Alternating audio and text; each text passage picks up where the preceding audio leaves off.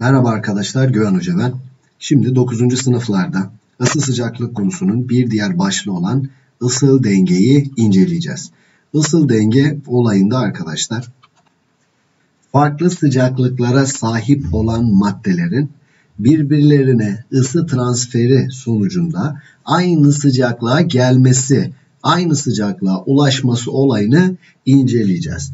O zaman burada söylediğim şeyden şu çıkartabilir, şunu çıkartabiliriz aynı sıcaklığa ulaşıp denge sıcaklığına gelebilmemiz için başlangıçtaki sıcaklıklarımızın farklı olması gerekiyor.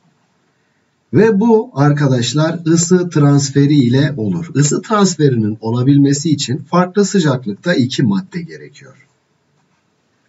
Bu farklı sıcaklıklara sahip olan iki maddeden sıcak olanı soğuk olana doğru bir ısı aktarması yapacaktır.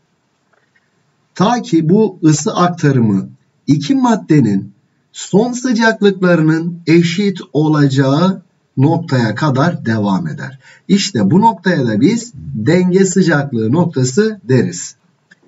Şimdi bazı maddelerde örnek sıcaklık değişimleri hakkında bazı tahminlerde bulunalım. Diyelim ki elimizde X ve Y gibi iki tane malzeme olsun. Bunların kütleleri, öz ısıları ve sıcaklıklarını bu şekilde verdim. Kütle ve öz ısıları hakkında kesin bir bilgimizin olmadığını söylüyorum. Herhangi bir şekilde bir şey bilmiyorum. Tek bildiğim şey X'in sıcaklığının Y'nin sıcaklığından fazla olması. Bunlara iki değer vermem gerekirse Tx'in 50 santigrat, Ty'nin ise 10 santigrat derece olduğunu söyleyelim. Arkadaşlar bu iki madde söyleyeceğim şey burada önemli ısıca yalıtılmış bir ortamda. Bunun anlamı şudur. Sadece bu iki madde arasında ısı transferi gerçekleşecek. Dışarıya herhangi bir aktarma olmayacak.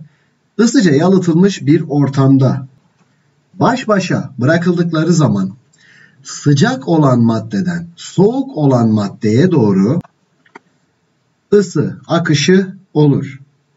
Belirli bir süre sonra ise son sıcaklıklar eşit olur. Bu sıcaklığa da denge sıcaklığı diyeceğiz.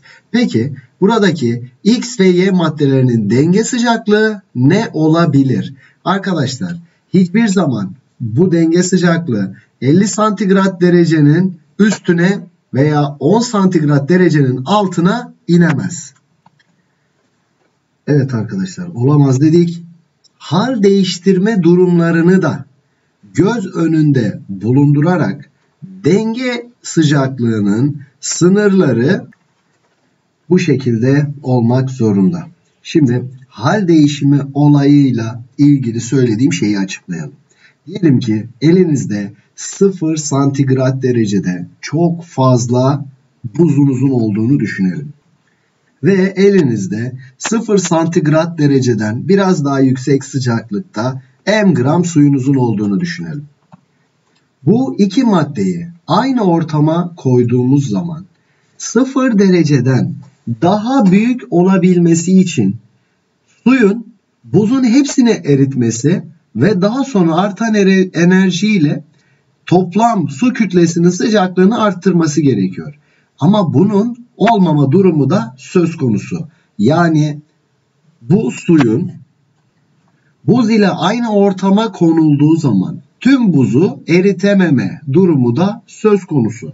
Bu durumda bütün buz erimeyeceği için ve buzun sıcaklığı 0 derecenin üstüne çıkamayacağı için bu durumda denge sınırımız 0 santigrat derece olabilir arkadaşlar. Yani hal değiştirmeden dolayı gelen bu eşittir işaretlerinin mantığı bu şekilde. Hal değişiminin söz konusu olmadığı durumlarda sıcaklık ısı grafiği bu şekilde olacaktır. Arkadaşlar eğer ki ısıca yalıtılmış bir ortamdaysanız sıcak olan maddenin verdiği ısı soğuk olan maddenin aldığı ısıya eşit olur. Bunu da grafikte bu şekilde gösteririz. Yani verilen ısının alınan ısıya eşit olması durumudur.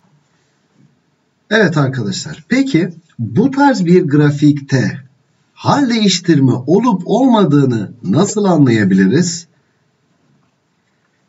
Diyelim ki elinizde 0 santigrat dereceden daha düşük sıcaklıklarda m gram buzunuz olsun. Burada sıcaklık 0 derecenin altında olduğu için buzun bulunacağı nokta grafiğin alt tarafında olacaktır. Ve ısı verildikçe bu verilen ısı sıcak olan sıvıdan geliyordur. Sıvının sıcaklığı ise 0 santigrat derecenin üzerinde bir sıcaklık olsun. Isı akışı sıcak olan maddeden soğuk olan maddeye doğru olacağına göre bu durumda ısı veren maddenin sıcaklığı düşecek. Yani buradaki sıvının sıcaklığı giderek azalacaktır.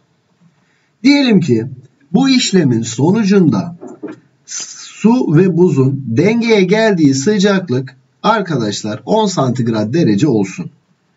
Bunun olabilmesi için buzun tamamının erimesi gerekiyor. Çünkü buz 0 santigrat derecenin üzerine çıkamaz. Buna göre buzun grafiği nasıl şekil alır? Önce eksi 10 santigrat dereceden erime sıcaklığımız olan sıfıra geliriz. Daha sonra verilen ısı bizim erimemize sebep olacaktır. Tüm buzumuzun eridikten sonra kalan enerji ise bunun sıcaklığının artıp denge sıcaklığına gelmesine yol açacaktır. Bakın 10 santigrat derece buz ve sıvının sonunda geldiği ısı denge ya da denge sıcaklığı noktası. Hal değişimi olduğu zaman grafikte böyle bir duraklama noktası göreceksinizdir arkadaşlar.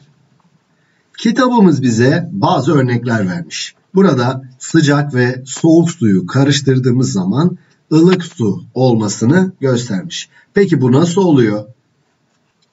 Başta da söylediğimiz gibi. Arkadaşlar sıcak olan madde soğuk olan maddeye ısı aktaracak. Isı verdiği için kendi sıcaklığı azalacak. Isı aldığı için buradaki T2 sıvısının sıcaklığı artacak ve bir denge sıcaklığına gelecek.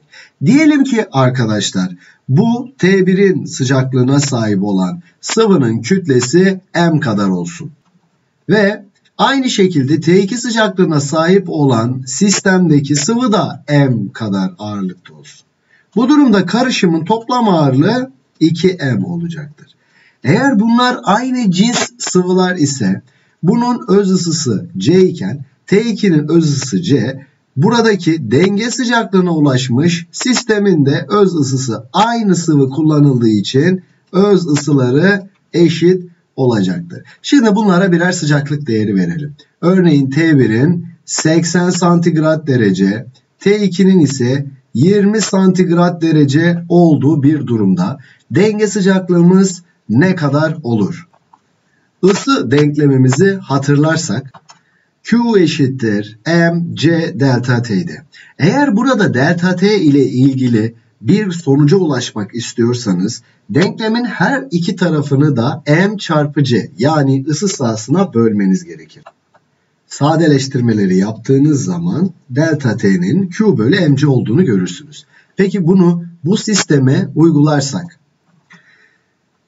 sistemdeki toplam enerjiyi toplam ısı sahasına bölmem gerekir. Şimdi Q1'i ve Q2'yi C1 ve C2'yi hesaplayarak yerine yazalım.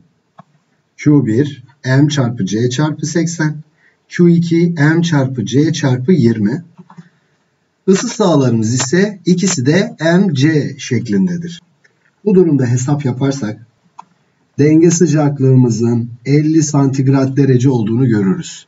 Bakın ısı sahalarının eşit olduğu durumda tam olarak sıcaklıkların aritmetik ortalaması cevabımız oldu.